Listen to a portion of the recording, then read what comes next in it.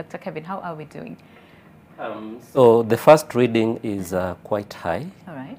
uh, but it could also be because of anxiety Yes, being in absolutely, the studio. and then and it's- it's- a lot is happening at the same yes, time, yeah. too much of uh, the lighting. So Yes. usually when we get a high reading like this, the recommendation is that we take another reading. Okay. And we see whether that uh, the elevation that we are seeing is actually sustained. Yeah. So I'll go ahead and just press it again. All right. And as we continue the discussion, we the, the pressure can be recording. Okay. All right. So let me then take your parting shot. Um, in the meantime, in terms of probably someone is watching us and thinking, yeah, but I have hypertension.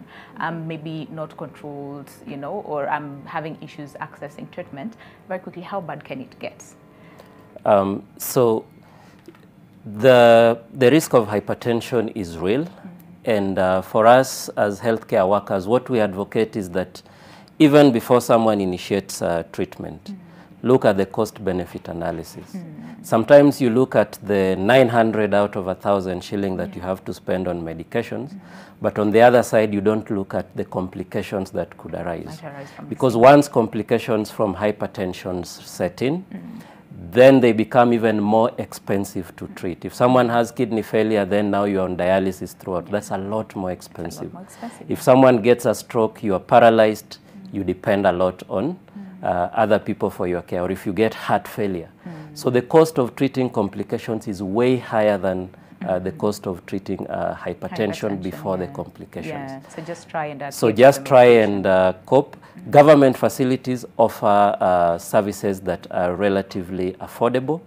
So I think that should be the bulk of our care uh, in terms of uh, people with uh, hypertension. Hypertension, That's where we should get. All right. Um, and do we have the number ready? I got an error, so I'll take it again. That happens a lot Yeah, because I want her to, to, to, to do her parting shot, so I don't know if that will. it will yeah it will affect it will, the, yeah? The pressure. Okay. When we take pressure, someone needs to be quiet. Yeah. Yes, and Okay. uh, key aspect is they should be seated. Yeah. The arm resting on a, a surface like this. Uh-huh. The legs should not be crossed. Okay. Uh, they probably should not have, uh, if they're people who smoke, they should not have smoked or taken a beverage. If someone just took coffee a short while back, the pressure will be It high. will be higher. Yeah. If you have a full bladder, for instance, Yeah.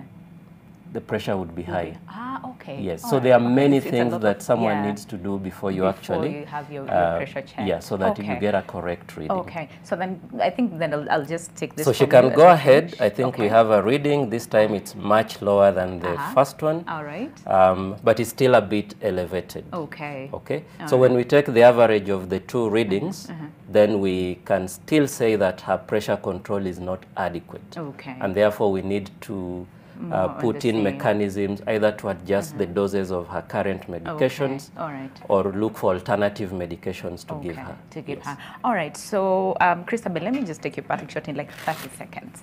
Um, actually, 10 seconds. Um, you know, having, um, you know, being on this journey with hypertension, what would you say to all the people watching us um, today? First, they should go for the diagnosis. Every time they see, they see a, a medical facility somewhere, just walk in, ask the nurse, ask the doctor, want to have my blood pressure checked. That way, you'll uh, you'll control a lot. Absolutely. Yeah. And it's Because free, right? because uh, so many people are just walking dead. yeah. So many of them are walking dead. Yeah. So don't do that. Don't do that to Yeah. yourself. Okay, it's it's free.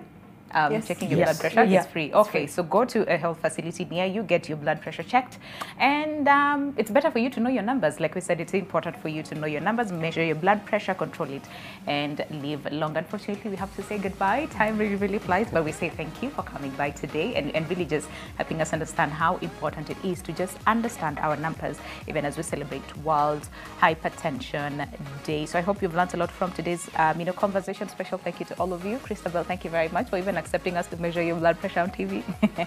we say thank you.